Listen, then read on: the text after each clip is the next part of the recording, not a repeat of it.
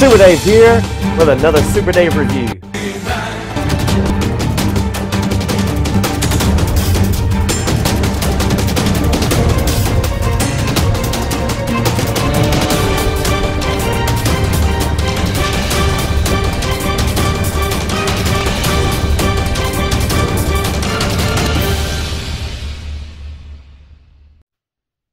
Super Dave here, and today we are going to be looking at a special action figure by Figma, made by Max Factory, and it is Devil Man.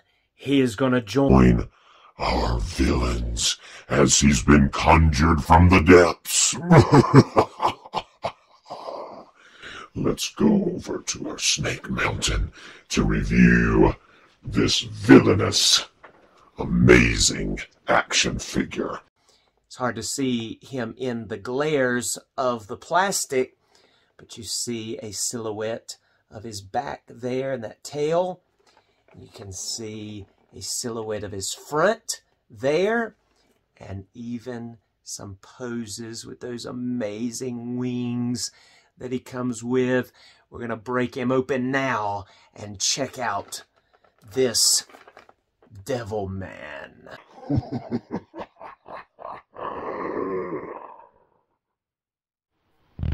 deep within the most evil of places in Eternia, even beyond the borders of Snake Mountain, there is a villainous evil that has been hatched and conjured that is beyond the imagination and conception of even these villains of the day. Evil abounds here in even greater measure than what even Skeletor could conceive, but yet has been conjured from the depths to bring forth one of the greatest villains that Eternia has seen to date, Devil Man. We will look at him now in this review.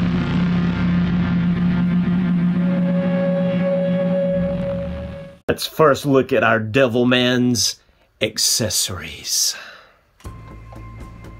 First thing our Devilman comes with is fists. Balled up fists, as you can see there. And then he's got a sword wielding type pair of hands. And they're at an angle already. Then he's got some relaxed looking hands. And just look at the depths, the wrinkles, and the, the, the detail to the joints of these fingers. It's just really amazing. Then these open palm, really spread out hands. And then he comes equipped with some clawed as well, just kind of grappling looking hands there. Look at the detail on the back of those hands. Really cool. Really amazing. And then our Devil Man, of course, comes with this closed mouth, clenched teeth head the tentacles and just just putrid looking stuff coming out of him. And then he also comes with this open mouth head with tentacles coming out of there as well and just the putrid scum of Hades bubbling out of his skull.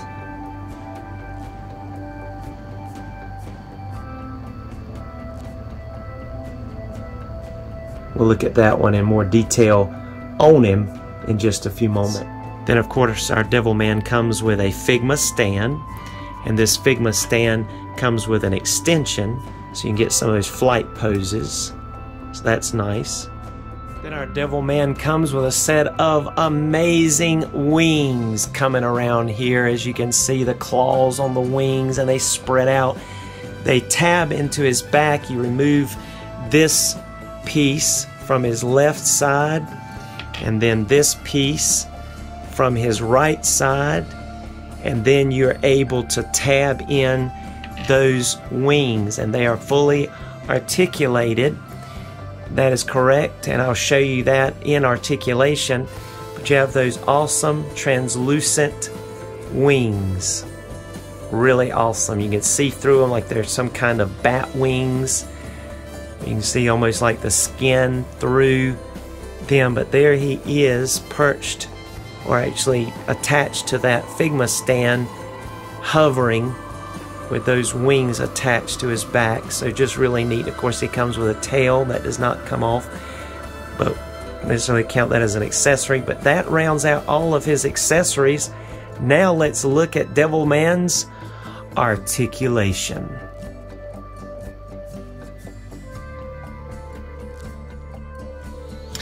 Looking at Devilman's articulation, let's go ahead and look at this head sculpt. And I went ahead and attached that alternate open mouth head sculpt so you can get a great picture of how that looks. But he is able to, uh, of course, turn side to side. Just have to move some of those tentacles out of the way because those tentacles are kind of stationed in a position, but they are soft plastic so you can move them, but he can look side to side. He's going to be able to get excellent head pivoting. He's going to be able to look down all the way, which is great. You can see that. And he's going to be able to look up really good.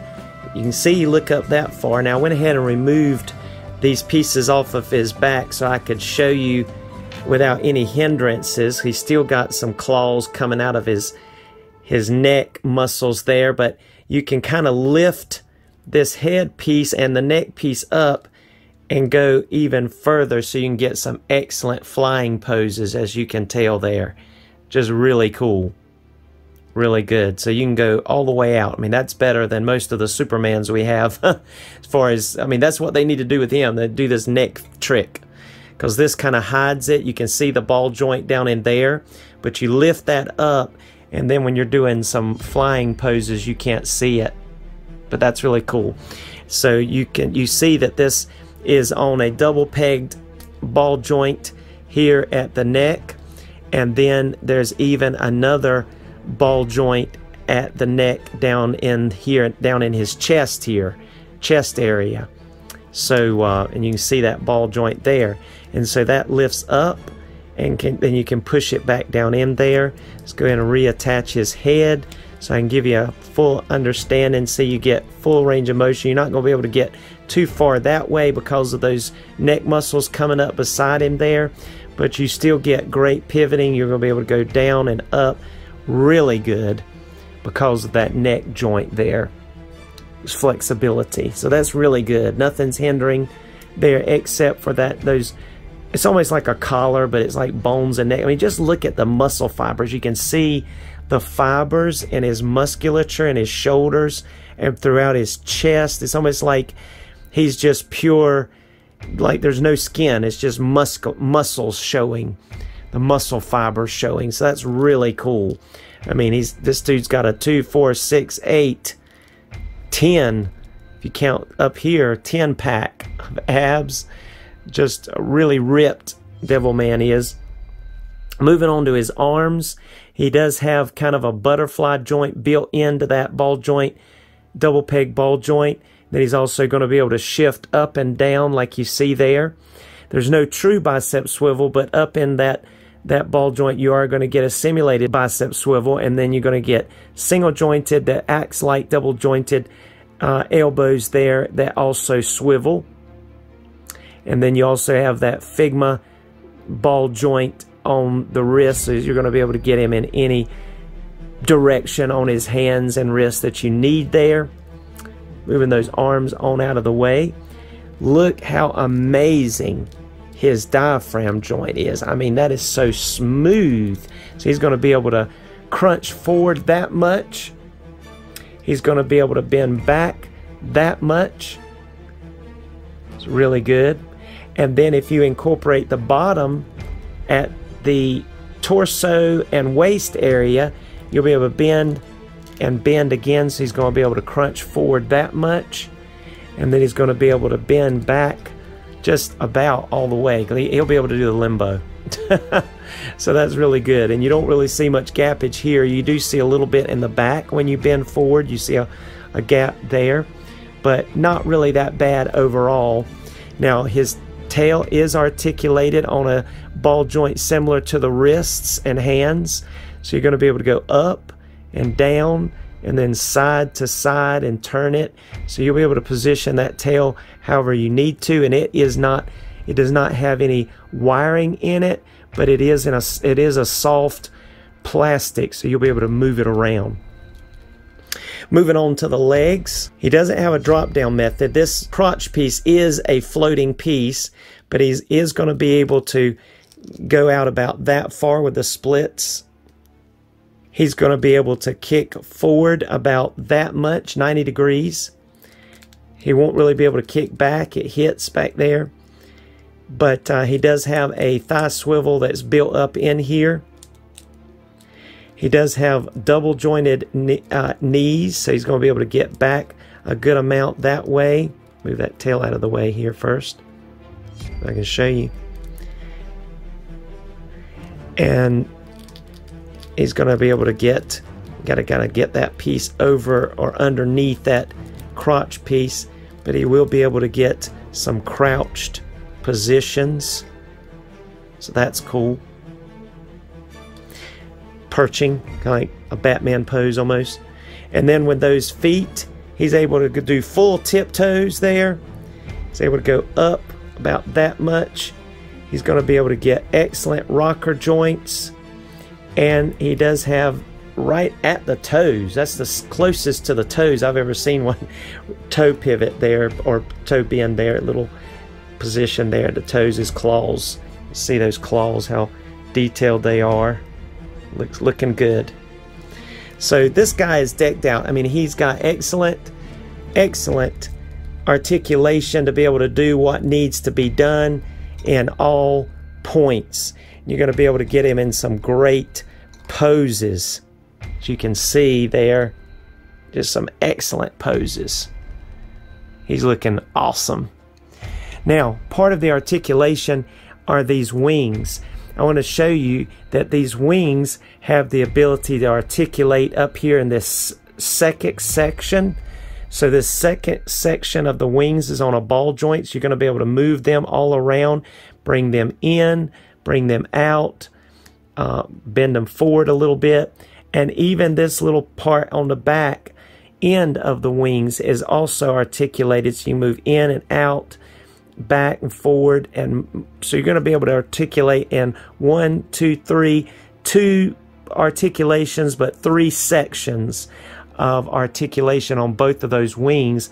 Not only that, but you're also going to be able to bend the part that goes inside of his back. You're able to bend that up and down, just up and down that way as a hinge. So you'll be able to get it, uh, uh, you know, bent in the right direction that you want it to from his port that you ported in his back and able to bend it down and bend it up like that. So that's part of the articulation. And we'll look at that more when we do photos as far as what you can do with him. Awesome. Now our devil man standing straight up without the wingspan but with all of his head dress there. Of course that is not removable. The head dressing is on there but it uh, does elevate the size of his head. Comes at right at 7 inches, at 7 inches line if you can tell. And then if you put on the wings he stands at with those wings at their highest peak nine inches tall with the wingspan going upwards, kind of an upward mark, about nine inches tall, as you can see there. So, really, really versatile figure. You can crouch him down and put him in with some of your smaller figures. You can stand him up, measure him up with those seven inch figures, like the new Revelation figures. I mean, this guy's going to be versatile, so that is really good. And then not that's not even counting what you can do with him on the flight stand with him flying and getting some poses where his uh, wings are a little bit more uh, spread out. You can spread those wings out and move them a little bit more outward like this. Pull them, pull them down a little bit and out. And you can even you can either fan them back that way or come in with them.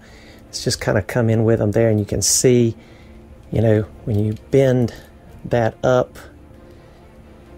then you're going to be able to achieve some pretty good pretty good stances there and then of course you can do that that head trick and Get it right there.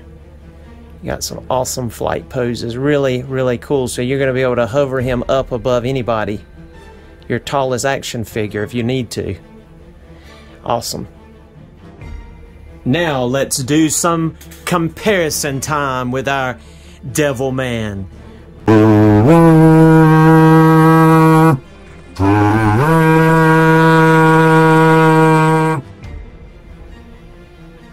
Here's our Devil Man next to our Revelation Skeletor and our Classics Faker from Motu Classics.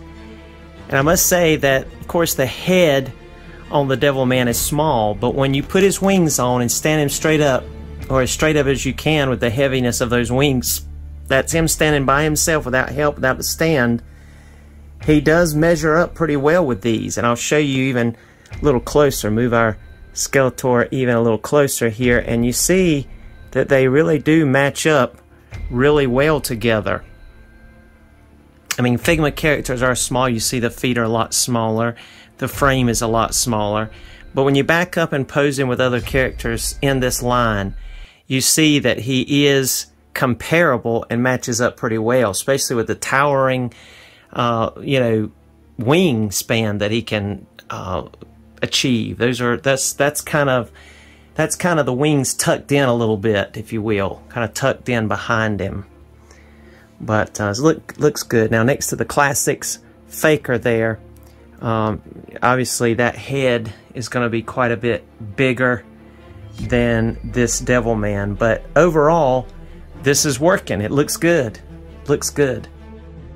And here's our Devil Man next to our Four Horsemen's, that Crow Man, Crow figure, with his black wings spread out there, and you can see how he measures up against our Devil Man. I mean, when you put on those wings, there's just no comparison. Our Devil Man's wings definitely has the span. They're spanned out pretty wide there. Uh, got them, got them spread out. And you can see how they're translucent. Catching the red from the lava falls back there through the wings. But he's looking really cool next to this Four Horsemen Crow Man. Awesome.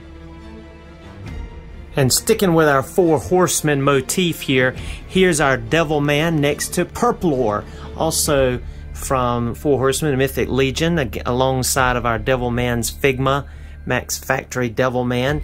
And see, I mean, they measure in great together. They're going to work good together. Um, some of you may have gotten this evil looking figure right here from Mythic Legions. I passed on him because I like this Devil Man better uh, overall. Mainly because, as, as I was describing earlier, these muscle fibers. I mean, he's just got some really cool detail. Um, I'm not that crazy about the glossiness of his face. I may do like one reviewer mentioned and suggested putting a little matte finish, a clear coat finish over the face so it's not so glossy. I understand it's like a slime, a putridness on those those wings and you know even down into this uh, almost like spikiness on his legs and stuff. But when it comes to the muscle fibers and then the face, I think they need to be lost, less glossy. I may leave the gloss on those red eyes though. That that would definitely be a good touch. The and even the tentacles.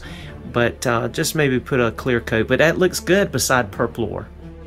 And here is our Devil Man hovering over the ground just a little bit in like a screaming, yelling face match against our Mortal Kombat's Storm Collectibles Motaro. And boy, do they look intimidating as they're kind of yelling at each other. It's like a yelling match going back and forth between the two of them. With his, with our Devilman's, uh, our his wingspan stretched out there, the claws coming in. They're just they got that yelling face there on our devil man as you can see up close there. He can he can yell out evilness with the best of them with that face sculpt. That's cool. Looking good. Looking good. Like it like it like it. That's cool. Looking very cool there. And here's our devil man next to Fangor Motu Classics Fangor uh, one of the Snake Men, along with one of Storm Collectibles' Bloody Skeletons. That's, that's the one that actually came with uh, Motaro, but I have him in kind of a zombie walk looking pose next to Devil Man. You can see he's still hovering just a little bit there. Just, just an amazing looking act action figure. And uh, that's drying pretty good, so you can already tell a little bit of a difference on that shine on that face. It's not quite as shiny, and I think that helps in photos anyway, especially videos and photos. But there's that uh, duo there, or, or combo there, beside Fangor. And here's our devil man next to the sun sorceress Nepthu, along with Lord Masque, two villains from Masters Universe Classics. And he's looking great beside them. I'm telling you, he measures up good next to these figures, in my opinion. I like it. Looking great. And here's even Mortal Kombat's Storm Collectibles Shao Kahn bowing to the Lord of Darkness himself, the Devil Man. and that is cool looking there. Um, now, Shao Kahn is pretty much taller, much taller, just like Prince Goro and even Motaro. But uh, you can make these work. You sure can. And also treated that face as well. As you can tell a little bit there, I believe, compared to the other pictures I took, that uh, he has that matte finish on the face. It, it did help. You can tell it. There, it's not quite as shiny, even though I do have a lot of lights glaring down on him. Still works good there. Cool. And here's our Devil Man next to our Mortal Kombat's by Storm Collectibles Rain. And he's looking cool next to him. awesome. And here's our Devil Man hovering beside our Masters of the Universe Revelation Evil Lyn and our Masters of the Universe Classic Shokoti woman figure. And looking looking evil and really good there. I just think this figure goes great with a lot of different action figures. I'm sure you would pair well with your, um, you know, Figma figures, but the figure, the Figma figures I have, he doesn't really pair well with. I have mostly um, modern day type looking figures that go with, uh, with the exception of Zelda and Link, but he goes better with the good guys of Masters Universe. But this guy definitely fits in with my villains for sure, especially Motu Classics and Revelations. I like him. I think he's going to be good. I mean, we have Beast Man, we have Clawful, you have, you know, um, Cyclops, you have Stinkor, you have, um, you know, the Snake Man. Now you have Devil Man. And I think he'll go good with this motif.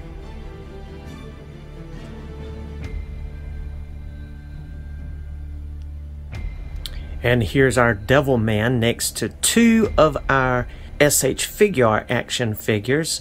We have on the left Final Battle Jiren, all buffed out, flexing, most muscular pose with his amazing abs. So we're going to have like an abs contest here.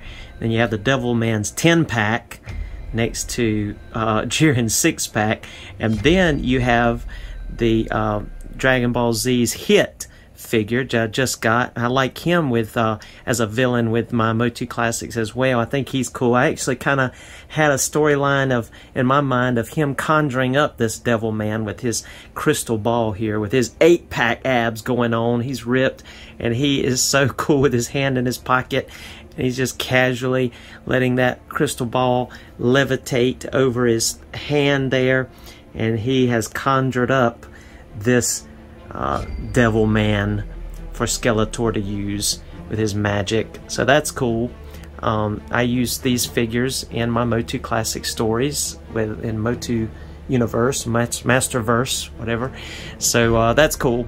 With Hitman here, the Hit, and with my King Altron is what I call Jiren in Motu Classics. Now let's check out some photos in the photo gallery.